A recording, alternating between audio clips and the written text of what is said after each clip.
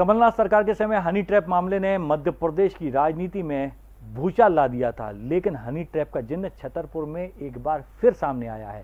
कांग्रेस के जिला अध्यक्ष मनोज त्रिवेदी के साथ हनी ट्रैप की आरोपी मोनिका यादव का सोशल मीडिया में एक वीडियो जमकर वायरल हो रहा है, जिसमें दोनों एक साथ दिखाई दे रहे हैं।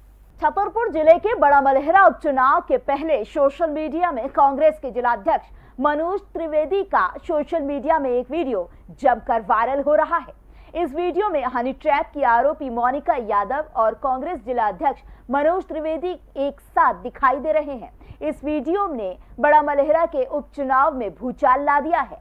अब पूरी कांग्रेस जिलाध्यक्ष के बचाव में उतर आई है। कांग्रेस का आरोप है कि बीजेपी बड़ा मलहरा में हार के डर से कांग्रेस नेताओं के बारे में तरह तरह के वीडियो वायरल कर रही है, जिसकी शिकायत वे एसपी के पास करेंगे।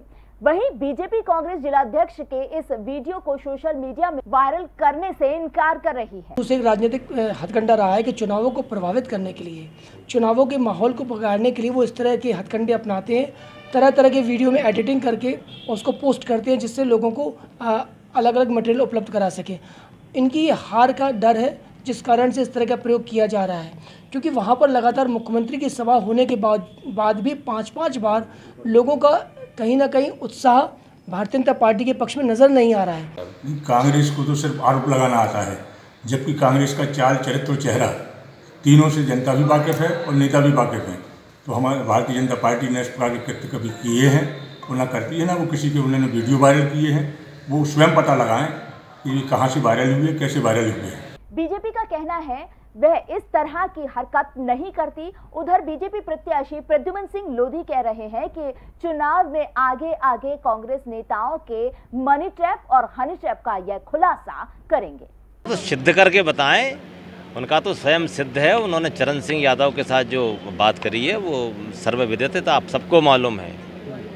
वहाँ के लोग हनी ट्रैप और मनी ट्रैप दोनों कर रहे हैं वो, खेल बहुत जल्दी सामने आने वाला संगीत की स्वर लहरियों से सांस्कृतिक ताने बाने तक चंबल के पीड़ों से नक्सलवादियों के गढ़ तक झोपड़ी से महलों तक ठेलों से मेलों तक पगडंडियों से सड़कों तक गाँव से शहरों तक व्यापार से उद्योगों तक। राजनीति से कूटनीति तक। दखन न्यूज़।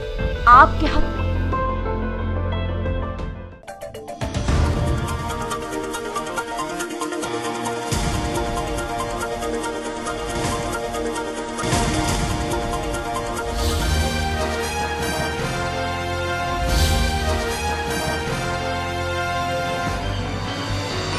आप देख रहे हैं दखल न्यूज़।